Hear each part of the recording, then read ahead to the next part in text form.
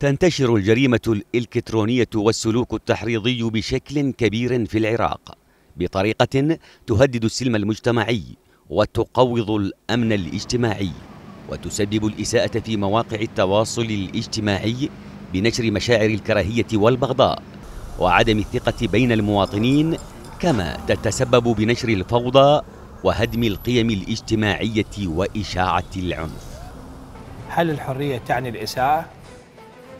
هل الحرية تعني أنه نكون إحنا سبب بتدمير أخلاقيات وتقاليد المجتمع؟ هل الحرية ممكن لنا أنه نسبب أذى إلى عائلة بل وفي بعض الأحيان إلى قتل أشخاص؟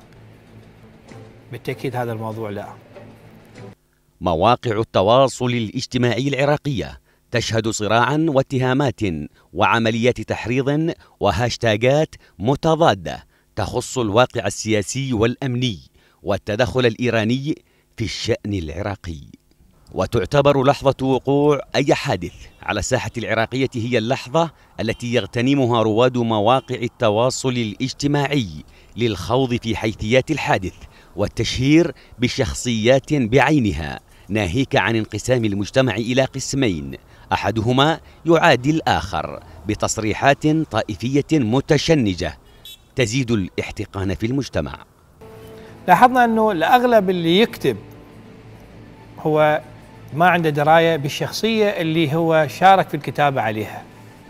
يعني مجرد اسم انطلق وتلقى مجموعة بدون دراية وكأنما سياسة القطيع وشارك معهم حشرا مع الناس عيد وهل لا يعرف من هذه الشخصية بل وهل هذه المعلومات صحيحة أم لا؟ مؤخرا حذرت السلطات العراقية من خطورة هذا الصراع على الأمن الاجتماعي وتوعدت بمحاسبة كل من يسيء استخدام مواقع التواصل الاجتماعي من خلال السجن أو الغرامة المالية.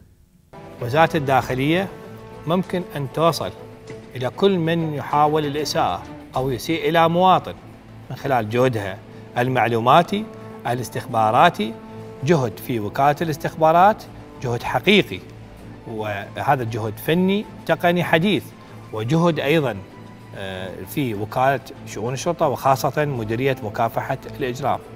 ممكن يكون هنالك ملاحقة قانونية وممكن الوصول إليك وممكن هذا الفعل البسيط اللي أنت تعتبره شيء تافه لا هذا ممكن يؤدي بك إلى سجن ممكن يؤدي بك إلى غرامة إلى كثير من الاعتبارات.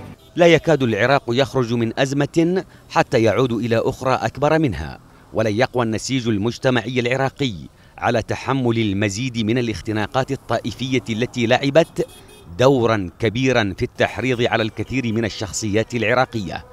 ويبقى لوعي المواطن هنا الدور الأكبر في محاربة تلك الظاهرة الدخيلة.